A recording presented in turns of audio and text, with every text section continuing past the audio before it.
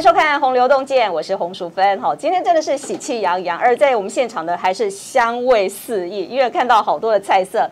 今天非常开心，我们为您邀请到的是圆山大饭店的执行副总经理陈凯煌，陈副总经理来到我们的节目当中。呃，各位观众朋友，在这边先祝福大家新年快乐，虎虎生风。对，真的新年快乐哈！今年真是很特别哈，这个虎年。呃，今天呢，我们在节目当中呢，除了呢要带你来吃年菜的团圆饭美食之外呢。当然，我们要告诉你一些圆山大饭店你所不知道的故事。现在圆山大饭店跟你以前所认识的圆山大饭店，可能已经有一点点不太一样喽。不太一样。对，然后呃，有很多的一些新的景点。对，在今天节目当中，我们都会跟您好好的来说这其中呃有哪一些好玩有趣的事情。好，首先我们来看到就是我们在桌上啊，真的是有一点口水快要流出来了。这个过年嘛，我们要提出一些呃应景的一个美食啊。有，我们现在介绍的是最前呃这一道好了，好，这一道是这是我们的过年的时候。一定要吃的佛跳墙，这是代表也一年以来大家辛苦，这是丰衣足食的一个象征。对，就是呃，在家里吃团圆饭的时候，几乎就是家家户户都会有一道这样的佛跳墙，这也是圆山饭店的一个招牌，是我们的招牌哦。那其实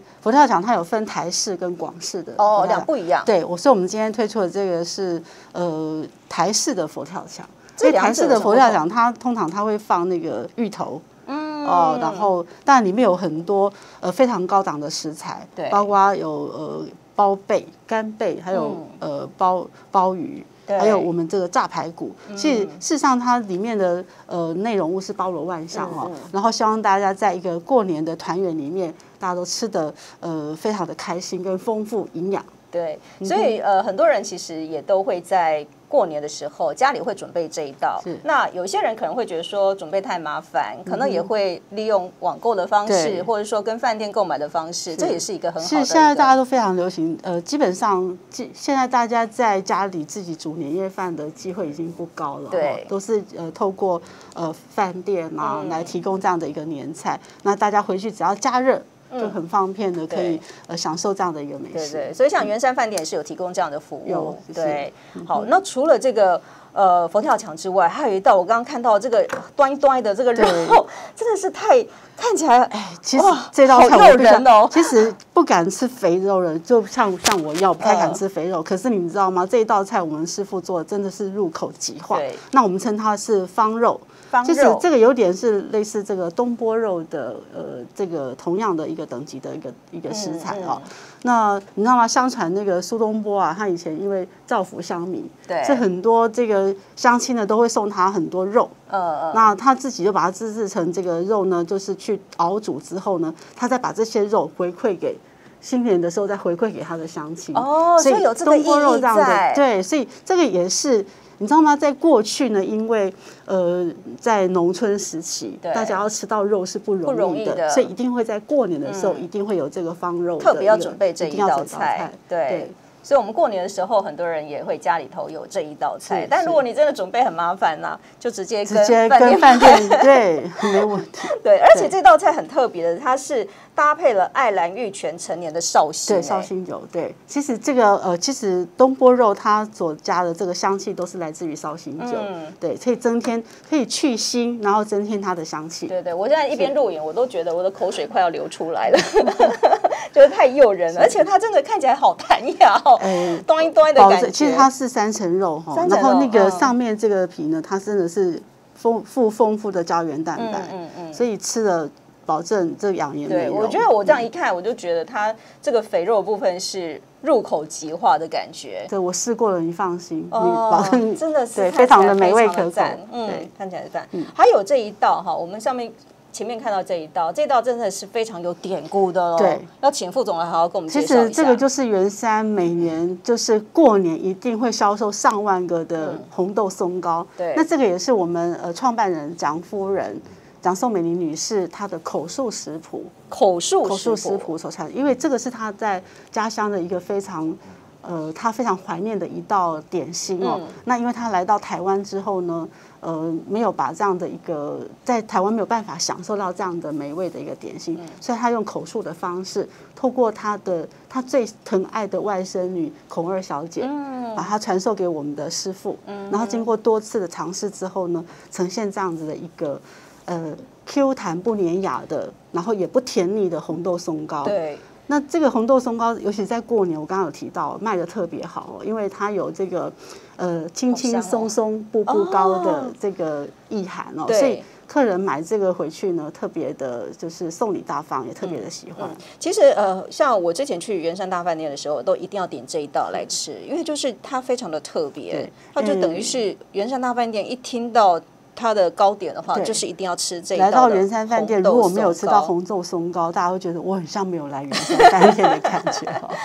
所以一定要点这一道哈。然后呢，呃，这次副总呢，真的是也呃很呃非常有心哦，他希望呢也大家分享这个松糕的这个味道，所以呢，他特别。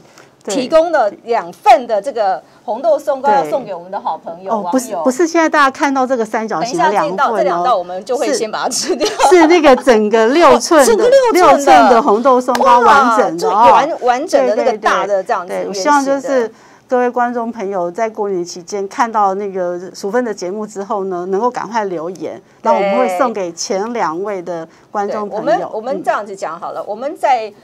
呃，大家看完节目之后呢，在我们影片下面留言，所有的留言的观众都有机会。可以拿到这一份的松糕，但是我们就会抽出两位来，因为我们的留言的观众也非常的多，因为我们的很多观众都是海内外的，对，那希望大家都有机会哈，就是我们有两位啊，希望大家祝福这两位好朋友可以抽到我们的呃红豆松糕，圆山大饭店的这是招牌的一个一个糕点，蒋夫人最爱的糕点，她最喜欢的糕点，对，然后我想相信很多的现在在看我们节目的海外的华人应该都。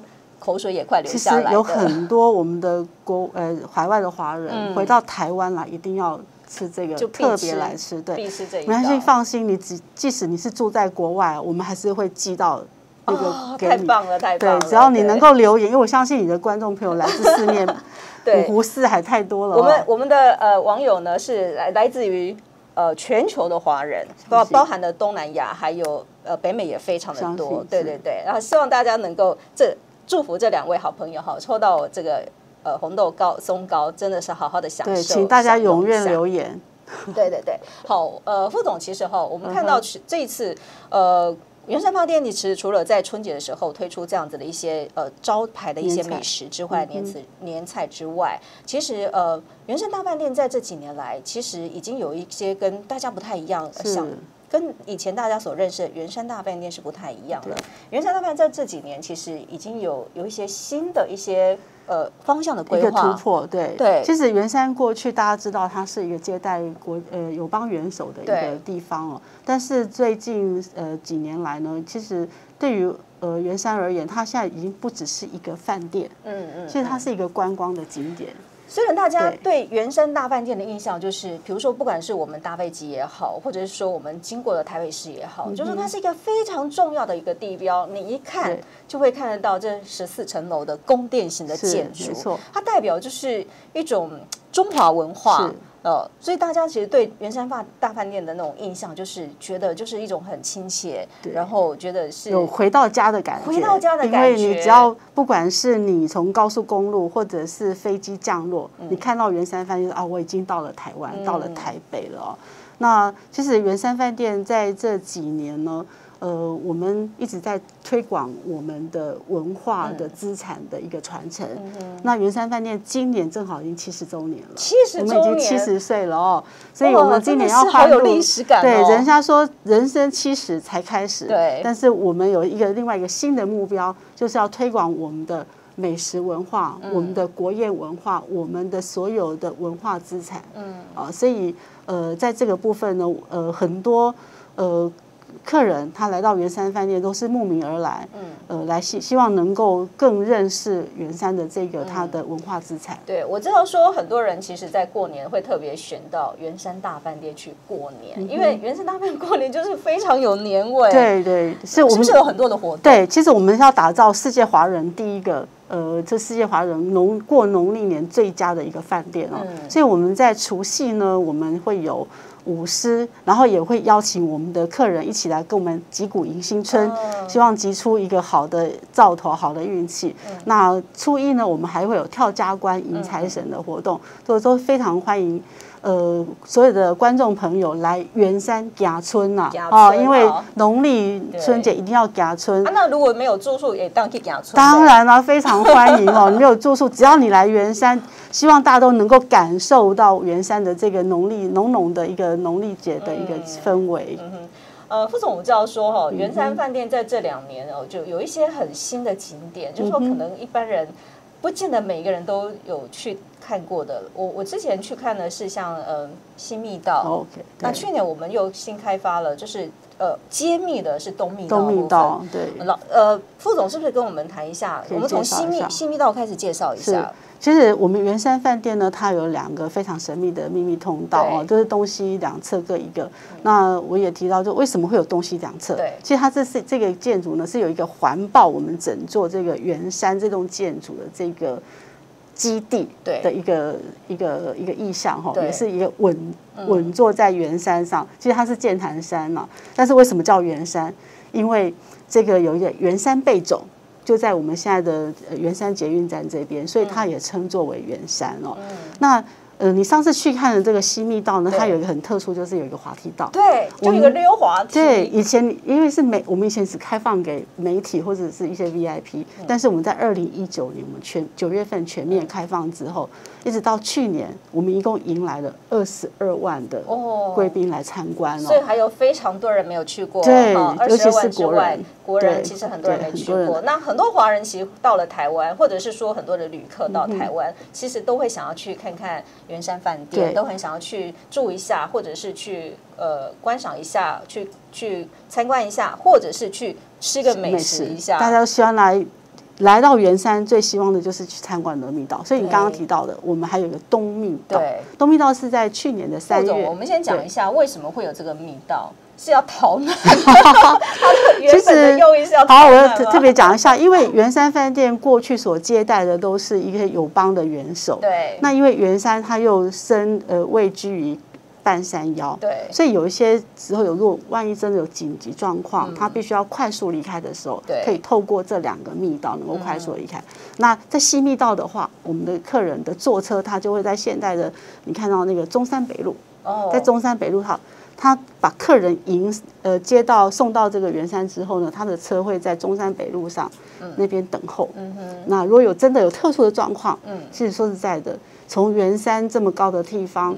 只要透过这个密道或者是滑梯道下去，溜滑梯，大概就是十七秒可以到出口，十七秒，然后两分钟就可以走到中山北路哦。所以要疏散非常的快，速度可以非常的快。台北市政府是不是还跟你们合作？哎，对，它现在不是说只是一个历史的遗迹，它还是一个真的可以。提供提供疏散对的一个一个地方。对，如果真的遇到紧急状况的话，其实圆山饭店的这个密道呢，还是列为我我们呃民众可以作为避难通道的地方，嗯，一个紧急避难的地方。对，我们刚刚讲的新密道，那东密道跟西密道有什么不一样？其实他们一个是往建潭的方向哦，另外一个是往北安路的方向。嗯嗯，其实呃。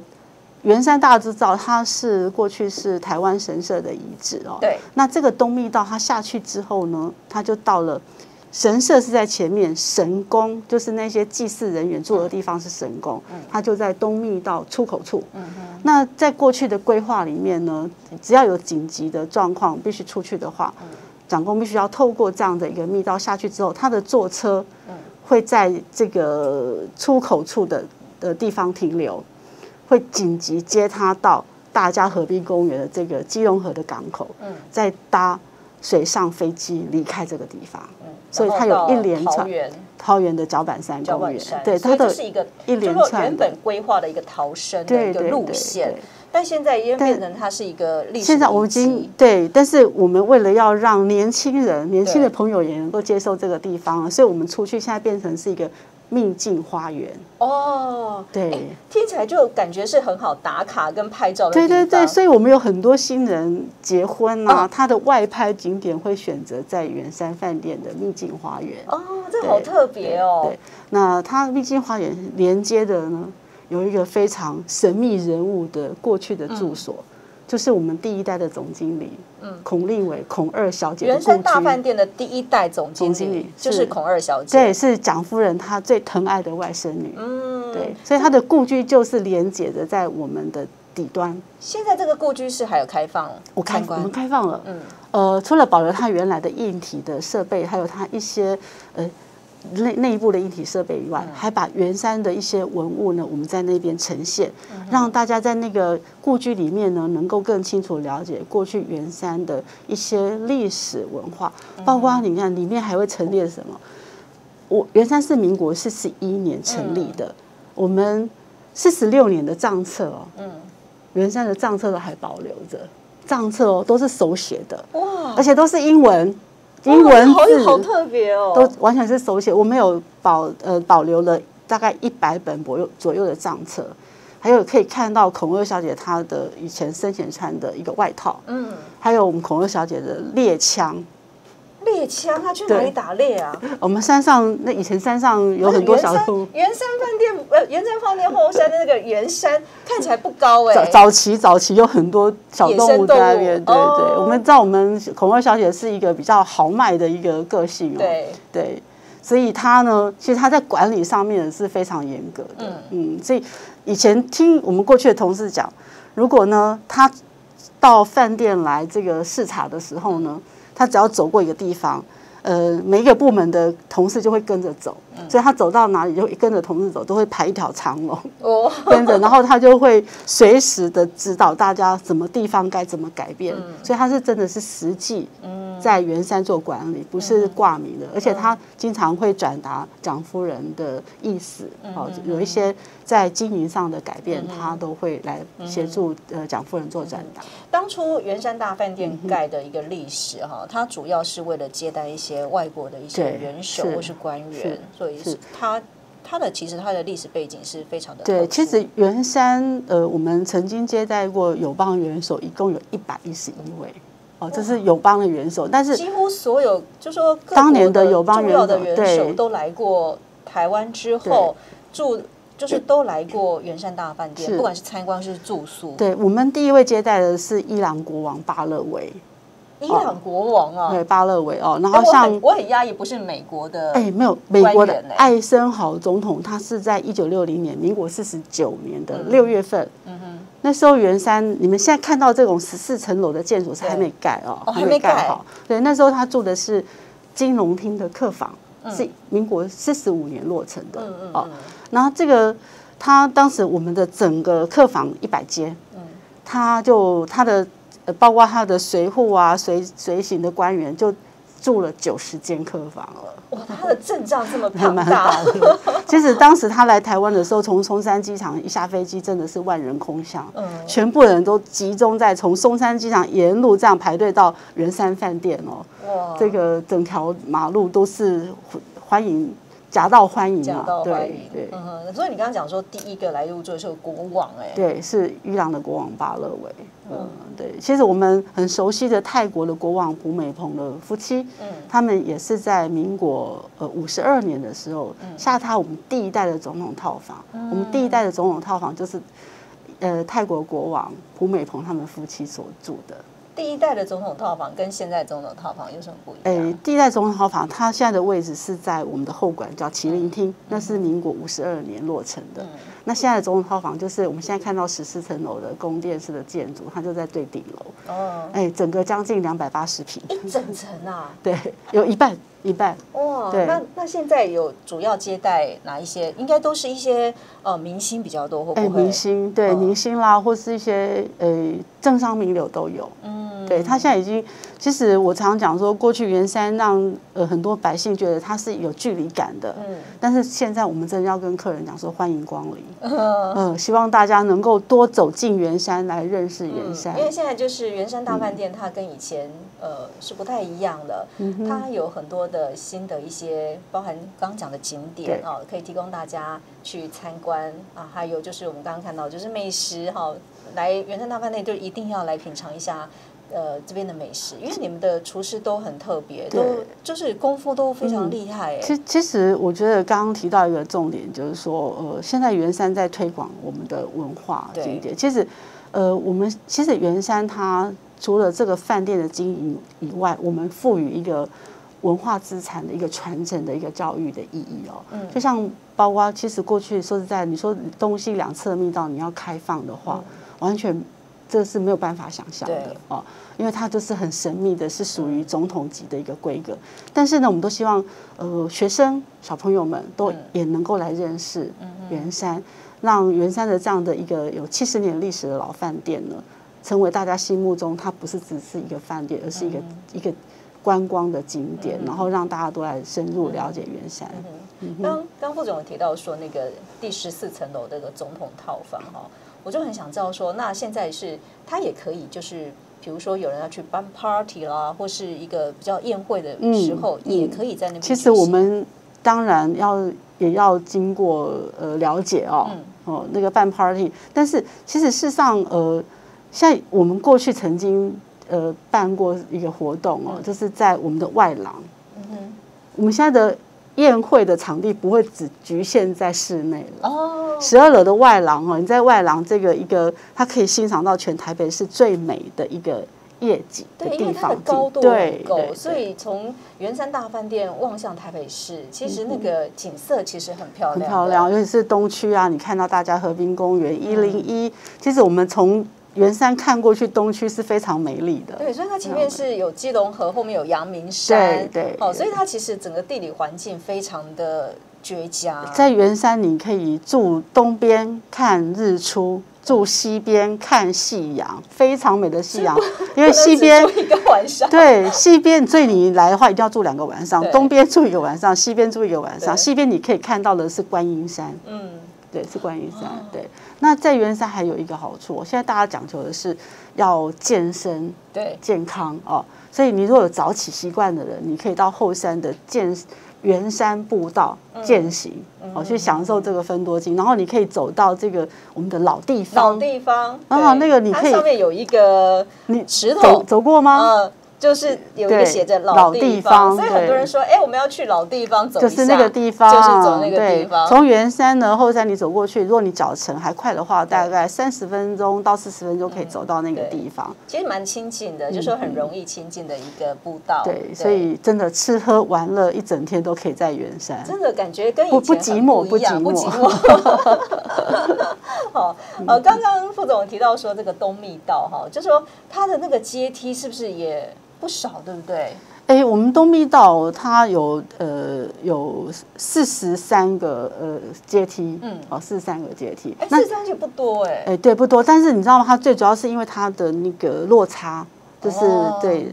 上下楼的落但它不像西密道，西密道有一个溜滑梯，就是说当初呢，它设计的时候可以很快速。你刚刚讲，因为那个地方它它离那个士林官里比较近一点嘛，所以那个地方呢就是会有滑梯道的设计。嗯嗯。但是您知道吗？当时这个滑梯，蒋公怎么溜溜滑梯啊？他真的有溜过吗？哎，其实他他有来视察过这样的一个一个这个建筑。其实当时我必须要讲一下这个密道一个缘由哈，其实它本来只是很基本的一个防空洞而已。嗯嗯那孔二小姐呢，她是有鉴于一九四五四五年的这个原子弹的爆发，她觉得原来的防空洞是不足以抵御这个呃就是强烈的一个震度。嗯。所以她找来了我们当时的建筑师杨卓成杨建筑师，还有一个呃德德一诶应该是美籍德一的一个。国防军事，国防军事专家，嗯嗯所以你你有印象的话，你上次去我们的西密道，其实它不是一条。直挺挺的，是它是弯曲弯曲的，你知道吗？这个都是有呃国防安全的一个设计。而且它在里面，它的那个墙壁啊，不是光滑面的，它是有点凹凸的。它有一个尖尖的哦，那个叫消音尖。因为你如果是室内，如果说它是很平平顺的话，对，你在你躲在下面啊，人家会听到你在什么，敌人会知道你的位置。哦。但是那个有这个消音间跟一个迂回的一个道路呢，对，一个可以防子弹。所以子弹，因为子弹是直的子子弹不会打到你。对，它的 弯曲的通道的时候，就子弹下来，它是就不会打到你，就不会被伤害到。然后呢，它还有它的消音。消音间就是你躲在那边，你的声响也不会被敌人听到。那外面如果有一些巨大的声响，比如说以前在战时的时候，可能就是比如说会担心轰炸啦这种的。情况，所以你应该还有记得那个时候有一个防爆灯，嗯，所以有任何的巨大的震动的话，那个灯呢不会，它即使是有任何状况，它那个碎片不会掉下来，因为它外面有一层的铁网罩住，它就不会有造成二度伤害。但是那个灯是从那个时候盖到现在。都还是都还是没有没有换过，所以圆山当时在建筑上面哦，就是我曾经访问过当时的大陆工程的一个我们驻地的一个工驻地的主任啊，工地主任，他说哦，以前那个九幺幺的时候啊，那个双子星塔飞机。飞过去炸掉，它整个垮了哈。但是如果相信在圆山的话，那飞机会卡在里面，动弹不得。是飞机会动弹不得，飞机会动弹不得。对，所以它就是非常的坚固的。我们讲说固若金汤啊。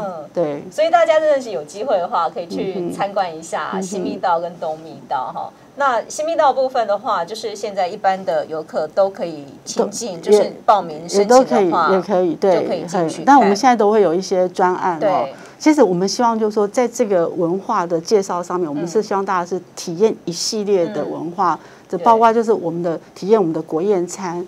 那我们可以跟大家讲这个国宴的故事。我们是集合七任七位总统所使用过的国宴餐，我们一套一套把它那个配套出来。嗯，一共有七套的国宴餐，总统的国宴餐。对，哦，从蒋中正总统。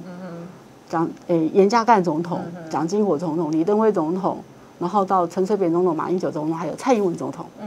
这七位总统在圆山使用过的国宴餐，我们把它集合起来，所以一般的平民百姓也都可以都可以享受到，而且享受到总统的这个等级。对，而且我们的同事会跟大家介绍这个故事，每一道菜的是哪一任总统所使用的，对，它所呈现的意涵是什么，我们都会跟大家走讲故事。而且不只是食材上面，不只是菜色上面，包括你们的餐具也是非常有特别的挑选。所以我刚刚特别讲的，如果大家来享用我们。的国宴餐的话，现在所使用的餐餐具呢，都是我们的国宴餐具。嗯，哎，这个南宫假进母后弄破网，你知道为什么吗？因为丽娜打破一个，我们就少一个国宴餐具了，非常的珍贵，对，非常的珍贵，就包含食材，包含的餐的这个料理，还有就是包含整套的餐具，其实整个吃起来那个感觉上是很不一样的享受。其其实我们。不是要去强调说什么一个呃所谓的贵族的一个享受，而是希望大家都能够来体验圆山这个所谓的最尊荣的国宴级、国宾级的一个接待是什么样的形态。希望大家都能来体验。从吃了这个餐之后，然后有紧急状况怎么去逃难，或者是你先去体验。是哦，现在还是有跟台北市政府有合作，台北市政府还是把。圆山大饭店列为是一个避难的一个场所，也不不仅是避难哦，也是一个景点之一。一个是一个景点，对，十十，我们讲说圆山地区有一个呃十美嘛，圆山十美，圆圆山十美的第一美就是圆山大饭店。所以一定要来好好的参观一下。不过我们知道说，呃，圆山饭店当然在这几年呢，就是走向年轻化。嗯，然后所以你们也跟呃包含的熊赞啊也有合作，有一些活动。对，那个熊赞也会在我们那边写书法、写春联啦，应该说写春联送给观众朋友哈。那你刚刚提到的年轻化，我相信，呃，在疫情期间的时候，大家都有感感觉到圆山的一个温度啊，就是我们。透过我们的大楼点灯，嗯嗯嗯，这个部分。那你刚刚提到的年轻人，我们现在你看我们临近的，比如说我们有民传大学，嗯，我们还有世新大学，都在都跟我们做一些我们在学程上的一个交流。哦，学程上的交流，对就是他们的学生到他们的学生来我们呃呃，我讲的这两所学校呢，他们会透过希望，我们也希望透过他们年轻人要如何喜欢上圆山，透过他们的气化。哦，然后我们共同来推广一些年轻人喜欢的一些活动。哦，那你刚刚讲的，其实圆山呢，它很重要的一个成立的一个目的，就是要作为培养这个观光英才英才的一个教教育英才的一个地方，所以我们跟了很多学校都有一些建教合作，他们可以来这边做餐饮的实习，或者是房务的实习，或者接待的实习。嗯嗯，所以这这一点就是说，也跟周边的一些学校也都有一些呃合作上，对，所以。呃，元山大饭店真是肩负了好多任务哦。哦，太多了，所以我们都希望就是说，其实事实上，我我我觉得元山饭店，大家可能以为，呃，我们只有一个元山饭店哦，其实我们还有高雄元山饭店，我们还有一个俱乐部。那其实台北元山饭店，我们是打造成是一个文化的地标。嗯大家过去对它最印象最深刻的是一个建筑的地标。对。那但是呢？来到走进圆山之后，你会有享受到很多艺术跟一些音乐的气息，就像前阵子我们有做百家辉煌送春联的一个活动哦。那其实我们圆山每天呢都有非常悠扬的音乐在现场，包括我们的老，我们每天晚上都有老师在现场演奏。嗯然后来到圆山呢，希望大家都有不同的一个体验跟享受。嗯对。呃，副总有没有推荐？就是说，如果一般人想要去体验一下圆山大饭店现在一些新的行程的话，嗯嗯副总有什么样？其实我我们都有不定期有推出一些呃住房的专案嘛，哈。其实呃，我们知道那个金国的七海，金国先生的七海文化园区，嗯，就在北岸路上，就靠近圆山饭店。其实。是在圆山开放，对，在一一月二十二号就开放了哈。那其实，在圆山，你来住圆山，你可以到很多周边有很多景点，包括我刚刚讲的，就是最新开幕的这个金国先生的七海文化园区。那结合二三月有很多花艺花展，包括士林官邸有郁金香展，然后我们的这个圆山花博区它也有玫瑰展。嗯，哦，那。呃，有很多景点都在周边。我相信住在圆山呢，你可以，呃，我们我们这个命名为花县圆山哦，就是花。其实圆山有很漂亮的杜鹃花。哦，哎，其实三月杜鹃花盛开，我们种了很多杜鹃花。其实每个季节每个季节有不同的风景跟景致。对，是，就说春天的时候花开，然后包含了花博。那其实远一点的也可以上阳明山去赏花。对，它有有茶花开放，对茶花。那其实上现在大家讲究的是亲子的。哦，对，亲子的带小朋友。适合小朋友吗？看起来就是一个很宏伟的地方。我跟你讲，我们最近有推出一个叫做“飞天正地”的住房障碍，就是飞天转地。哦，所谓的飞天是飞什么天？因为我们跟一零一合作。哦，大家，我们跟一零一合作，就是可以，大家可以去一零一到他们的观景台。嗯。那也可以来圆山走密道，嗯，哦，这个飞天正地就是希望飞天遁地，哎，飞天转地，哦，飞天转地，对，我们希望就是说，呃，爸爸爸妈妈可以带小孩子来台，来到台北去了解台湾整个两个非常著名的地标，刚好台湾双地堡连接起来，嗯，对，一个台北一零一，对，台北圆山饭店，对，可以飞天，可以转地。那除此之外还有什么样？比如说其他的推荐？其实呃，我们都知道那个农嗯元宵节，对灯会也快也快到，对不对？你要到今年的灯会是台湾灯会是在高雄啊，蛮远的，蛮远的。如果你真的观众来说，对对比较远一点哦。但是如果你想要看他们的主灯怎么办？就来圆山看啊，圆山就可以看到。没错，没错，没错，因为。呃，每一年台湾灯会的主题主灯的模型都会在圆山展示哦，所以就可以先到圆山饭店，可以先去看一下那个模型的样式。但我现我现在不能讲它的样子长怎么样啊？对，大家一定要有关吧？哎，没有，因为这几年开始已经跟生肖没关系哦，跟生肖没关系对，像这几年像以前，哎，在。屏东呢，它就是用那个尾鱼啊，尾鱼哦，就是当地当地的一些特产。然后去年在新竹，它应该是用灯光、光雕的那个那个展示。那今年是在高雄，高雄有另外一个主题。嗯哼，对，所以如果大家呃要先睹为快，因为是它是在农呃元月呃农历的元宵节才会有灯会嘛，那你可以到元山先先睹为快，而且我们还有。八座那个工艺师的精彩的灯座会在圆山，还有还有，如果你要小提灯，不用去大排长龙。圆山那里也有，也有，我们也有小提灯。如果你只要来圆山。我这样讲可能会不好意思啊，有消费就好，有消费就好了哈。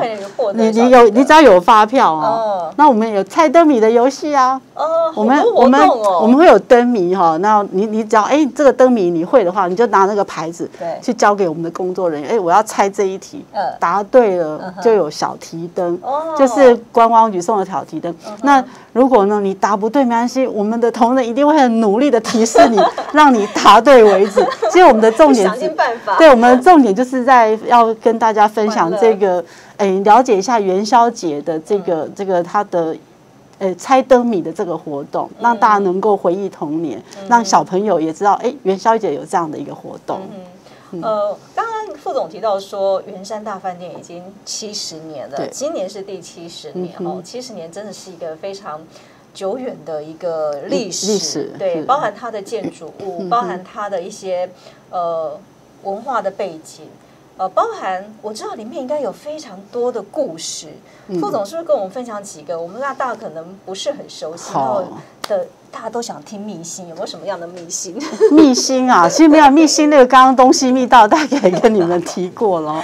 其实早期哈，呃，蒋夫人她在管理元山的时候，她真的是非常的严格哦。因为我常常听到我们的同事讲说，蒋夫人她有时候如果出去外面参加行程，回到原饭店来，那他就会去享受他的早午餐，嗯，好不让去，因为他晚起嘛，哦，那他就会享受的，比如说杏仁茶啦、无咖啡的咖啡因啦、优格啦、蔬果条。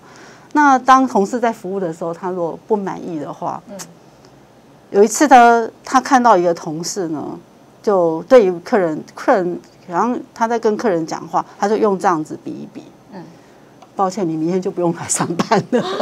这这样不行，不当然不行啊！这个我们是一个国家级的接待哈，而且你看那个有同事他把那个袖袖子卷起来，这个也都不行哦。所以我们有呃服务人员的一个一个一一套，这样份那时候真的是管理非常的严格哦。那比如说啊，我们在讲大家都看得到的这个百年金龙，好了，云山饭店在金龙厅它有一条百年金龙，那这条金龙呢？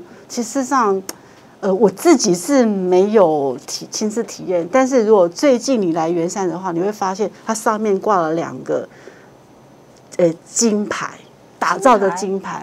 那你会想说，哎，一般打造金牌应该是在庙里面，对对对，人家会去还愿嘛，一些可能可能佛啊、观音啊，对啊，那个就是信徒信徒去还愿或去答谢。我们现在有挂两个金牌。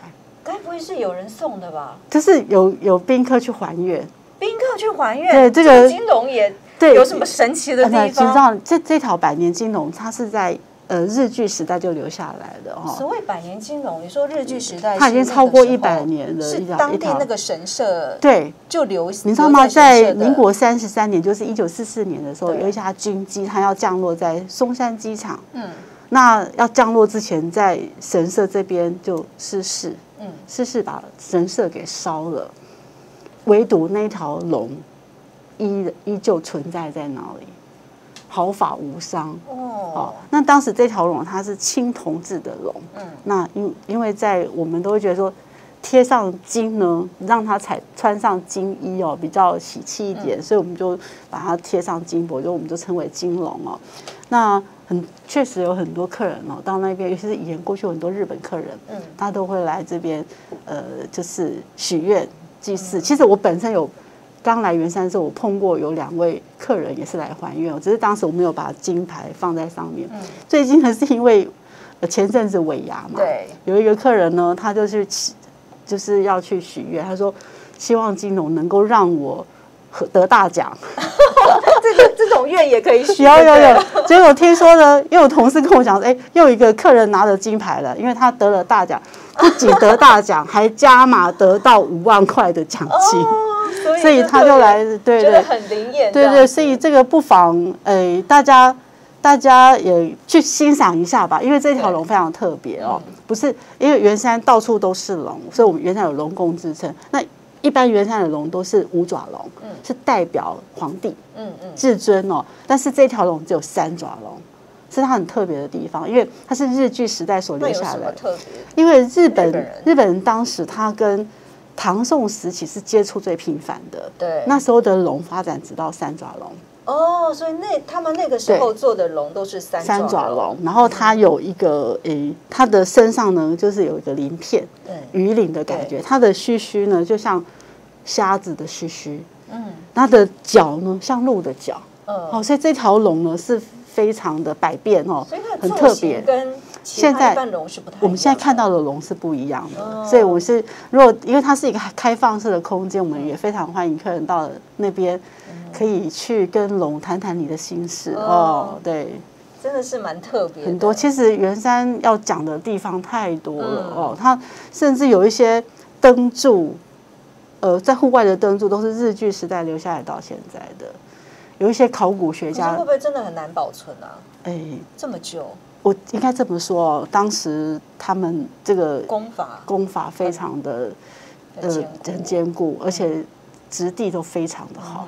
所以应该也很多的，呃，海内外的建筑师，他们都会特别到圆山大饭店来去观摩一下它的整个建筑的功法。甚至有一些旅行社，他安排的就是一个历史历史建筑物的走读之旅，都会来到圆山。嗯嗯嗯，大家还是很想要知道一下孔二小姐跟蒋夫人一些小故事，因为毕竟对于他们的一些嗯个人的一些。生活上的一些小事情，大家都会特别的有兴趣。其实，其实，在圆山饭店，蒋夫人她所有大大小小的事情，她都是会透过孔二小姐来做转达。嗯，就包括刚刚我讲的松糕也是哦。孔二小姐是脾气也很很硬啊。因为之前听过一些呃传言，都觉得他好像脾气也不太好。也是 也是因为这样子，才能够训练出袁山这么多优秀的前辈哦。前辈，他讲那个孔二小姐有一个比较有趣的事情，就是呃，她呃，就是她的穿着对都是比较中性一点哈，唐装哦。那她在饭店用餐的时候，她有个规定哦，如果她今天是用西餐的话，我们服务她的同仁呢。就必须穿西装，穿吃西餐要穿西装，吃中式餐点要穿唐装，这是他的规定。他规定同事对他的服务是这样子，所以他的要求也是很高。对对，那像他去呃美国的时候啊，包括蒋夫人，我们也有同事专程，呃，就是我们有派两位同事去那边服务他。嗯，哦，所以他包括他喜欢吃的松糕。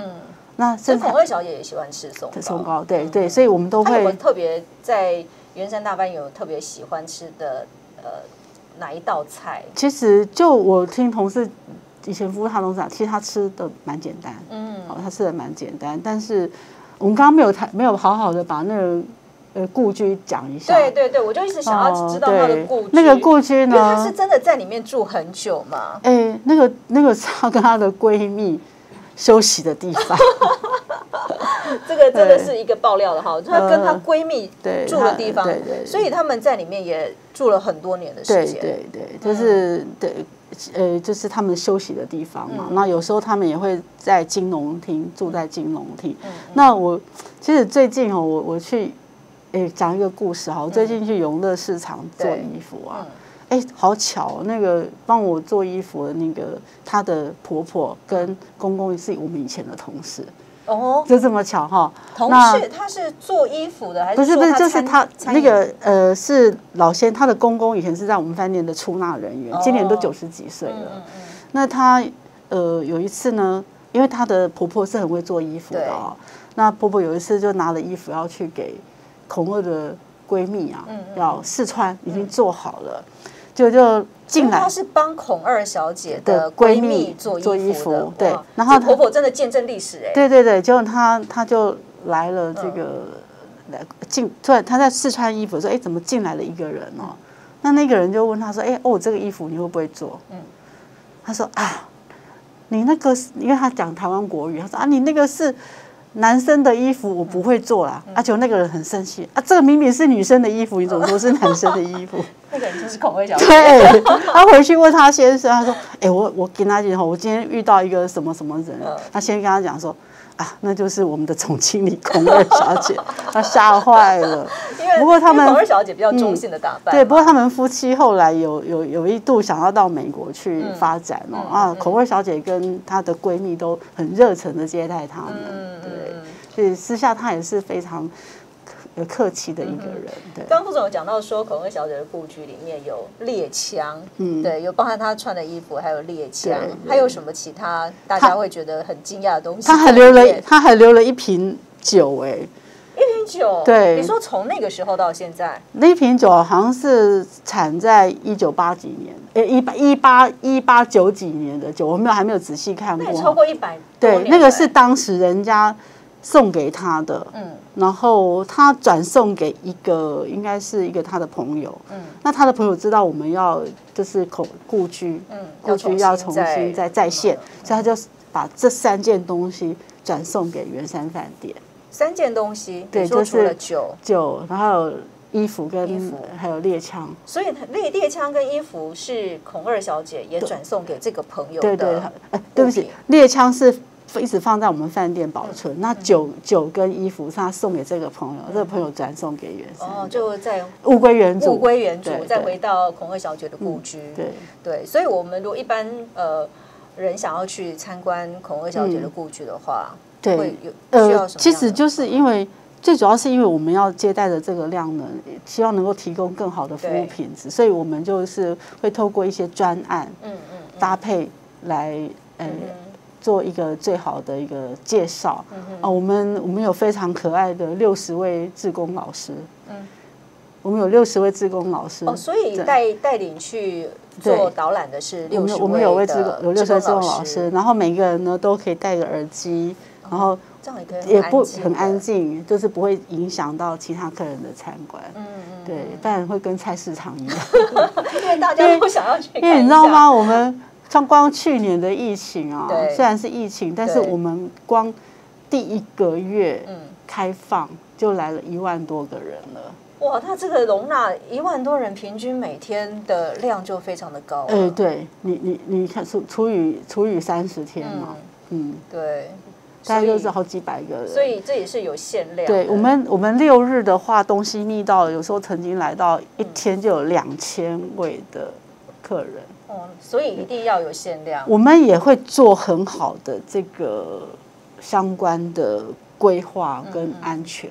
嗯对，所以它是整个的呃行程，就是说。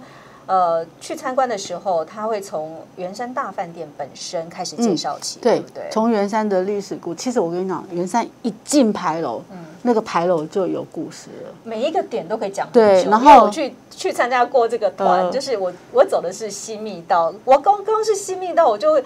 可能呃前后就快要四五十分钟了，就很长，对很长的时间，因为它每一个地方都可以讲出非常多的故事。大家还可以再期待，你上次是西密道是走下去，是沿路上来，对。下次你应该要再去一次东密道，西密道还有一个更新的玩法，还有更新玩法，是新跟我们讲一下，透露一下。哎，这个就是可以让你知道说它可以通往什么地方哦。我们会把那个门可以走出去，我们未来会把那个门打开。嗯，对。之前的话就是西密道走到那个。呃，密道的底的时候，你必须要回头上来。对，对，它是前面的门是没有开的，所以现在我我们是未来希望就是说，能够让客人那更能够体验它密道的整个完整性啊。嗯嗯，对嗯。那东密道的部分的话，东东密道不一样。东密道它就整个就是出去了之后，就是一路，比如密道行程，然后到我们的秘境花园，然后参观恐龙小姐过去。其实它的整个行程下来，大概也要。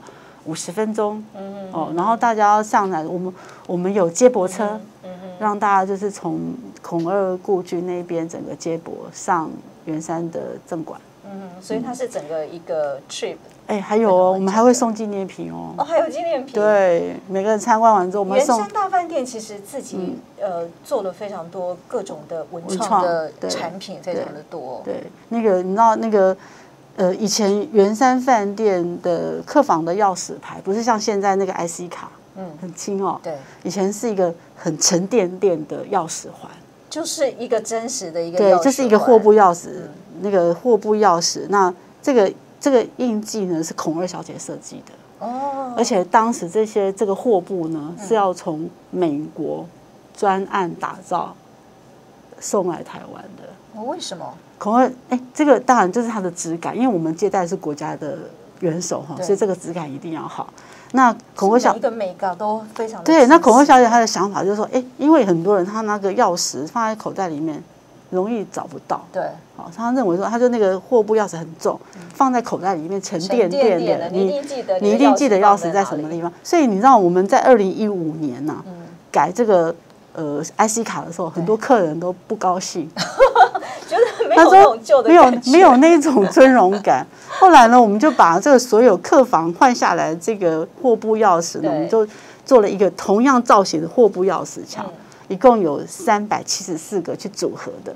那我们现在也把这个作为文创商品。嗯那我们送给客人的纪念品，我们会有很精美的明信片哦，然后包括就是我们在疫情期间。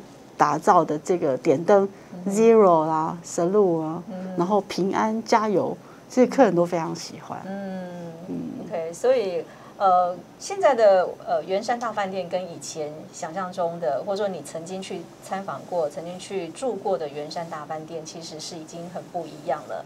它的范围包含的，像是呃年长的或是小朋友，其实都有一些行程可以去玩。呃，我们希望就是圆山的这个它的故事跟文化能够继续的传唱下去哦，因为圆山它毕竟是台湾呢最老的一家饭店哦，它这个我常常在讲说，如果我们在这个时候不赶快把这些呃即将退休同事的故事写下来的话，这些精彩的故事以后都没有人知道了哦。比如说，我们过去曾接待这个伊丽莎白泰勒哦。哎，玉婆，玉婆在圆山住过两次。她有什么特别的要求？哦，她她很特别，因为她完全不喝开水的啊，她不喝水不喝茶，她把红酒白酒当水喝。这就是你知道吗？这就是她。她有还有一次，我蛮蛮有趣，我也是听钱总讲，她有一次她手不小心那个扭伤了，对，然后都。都好不了。对。那后来呢？我们的那时候总领班啊，就给他两块沙龙巴斯。嗯。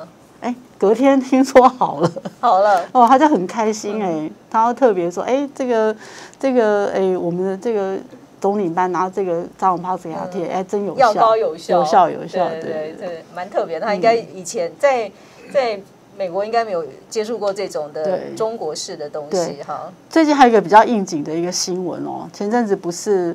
东家王国不是那个地震嘛？哦，海啸。其实东家王国的国王杜包四世现在是六世。对，杜包四世在我们圆山住过七次。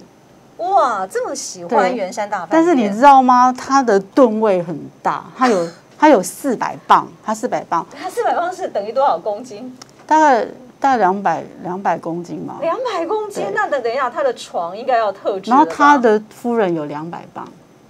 所以你知道圆山呢？两百公斤加上一百公斤，就三百公斤了。所以我们现在新的总统套房，对那一张床呢，就是为他们夫妻所打造的。哦，原来是为了东家。你知道，因为那个一般一般东家是国王，对对对，国王国王，你知道吗？那个一般床不是四只脚吗？对，我们这张床有十六只脚，所以特别为他打造。还有还有还有还有还有。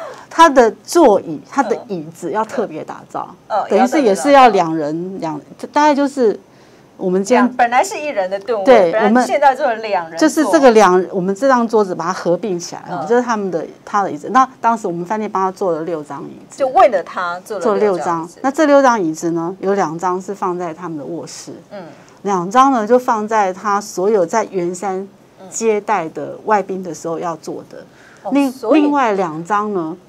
会跟他到处跑，因为他那时候来台湾中华民国的时候，他是要到全省去参访嘛，对，所以那两张椅子会跟着他走。你知道为为什么？为什么会帮他打造这个椅子？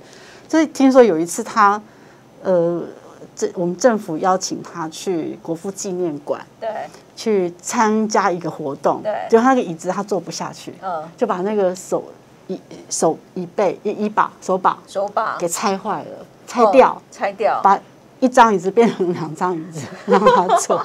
是这样而来的，你知道吗？所以，所以原生大饭店的服务品质真的是没话讲。我们对于这些国家的元首，还有一些呃外籍重要的一个宾客，都是会特别为他们量身打造，一定要量身打造。对，所以这个东西，国王这他应该。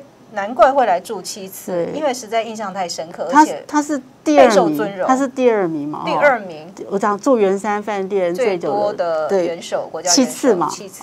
那第一名是谁？你知道吗？第一名是谁？第一名是新加坡的总理李光耀。哦哦哦，对，他也来，也常常来住。对他，他一共在圆山住了二十五、二十六次，所以每一次来几乎都住圆山大饭店了。对，其实你知道吗？那有一次，其实我以前在写我在我在写圆山故事的时候，我才写他二十五次，因为我的记录上面只有二十五次。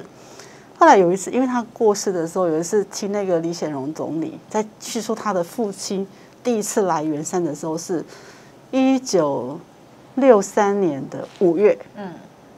那那次我们没有记录到，所以我现在就改写历史，改写我们的圆山故事，它变成它是二十六次。哦，这真的是很特别，就是说，呃，副总把这些故事都写下来，因为云山七十年太有太多东西可以写。你刚刚讲这个东家国王，我就觉得非常的有趣。呃，我我我觉得我们每天都在写历史。我跟我的同事讲，就是说，与其像我现在要写，我六十周年庆的时候写了圆山故事。我为了要追溯这个前六十年的故事，我千辛万苦，哦，去问了很多资深的同事，有时候真的来不及问，他们都已经走了。那我我都跟我同事讲说，我们现在把重要的历史都要把故事都把它写下来，以方便大家以后在做这个故事的集结的时候，能够有更精彩的片段能够记一下。副总还有什么总统是很特别的？哦，有啊，那个。沙乌地阿拉伯的国王费瑟，沙乌地阿拉伯王，对，你知道吗？他那个是一个非常有钱的，有钱，你我有钱的。他来的时候，请问他来的时候有带多少 嫔妃啊？不是，其实你可以想想，那个嫔妃是应该是那个史瓦蒂尼的，哦，史瓦蒂尼比较 多。对，那个我可以再讲。你知道那个呃，沙乌地阿拉伯国王，他在一九七一年来的时候，那时候也是住在我们的第一代的总统套房。嗯，呃，我听我们。接待过他，就是服务过他的这个同仁，他说：“诶，他给我们同仁的小费一次都是两百块美金，哇，都是两百块美金。那大家都很喜欢去服务他了。对对，因为你知道吗？有钱嘛，哦。那当时他，大家会排队拿小费，也也也也不至于哦。我们都有，我们都有很好的教育哦。对对，那时候你知道，因为。呃，他来圆山的时候，他有一道菜，他他特别喜欢的，就是烤乳鸽。哦，烤乳鸽，对他特别喜欢。然后听听说他要离开的时候呢，还特别请圆山饭店的同事帮他准备。嗯，我们帮他准备了五十只，让他带五十只，让他带回去沙地阿拉伯。真是太爱吃这个烤乳鸽，觉得是很赞。那刚刚讲说史瓦蒂兰的。国王没有，因为他的母亲也来过。对，然后斯瓦蒂尼国王，他当时我记得在二零一五年的时候，他来台湾嘛，来看他的小孩，因为他小孩在这边读书。嗯，那他带的是很像是第十几位嫔妃吧？第十几位，第十几位，不是一当然一次出国不能全部带出来啊。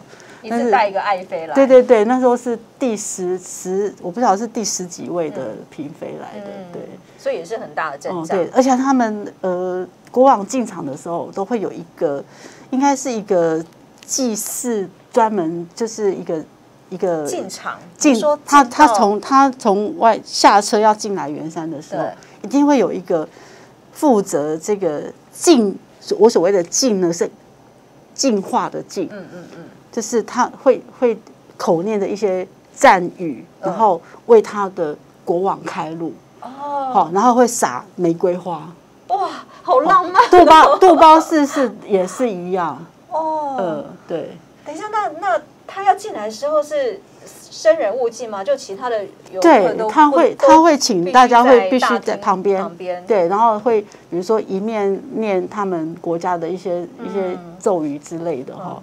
会净化他整个场地，这样好气派哦。对，就是我我也是，我觉得在圆山可以看到各式各样的一个一个状况啊。对，好，我们今天真的是非常谢谢副总带我们看很多的故事哈，同时也带来很多的美食哈。再一次的呃提醒大家，就是元盛大饭店呢提供我们两份的蒋夫人非常喜欢的红豆松糕，要送给我们的好朋友啊，请你们呢在我们的看完影片之后，下面呢留言在留言区留言，那我们会抽出两位，然后呢再请我们的小编跟你。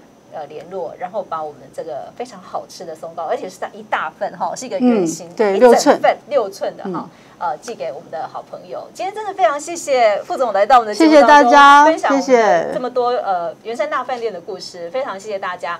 呃，也祝大家新年快乐，新春愉快，虎年虎虎生风。谢谢大家，谢谢副总，谢谢，谢谢。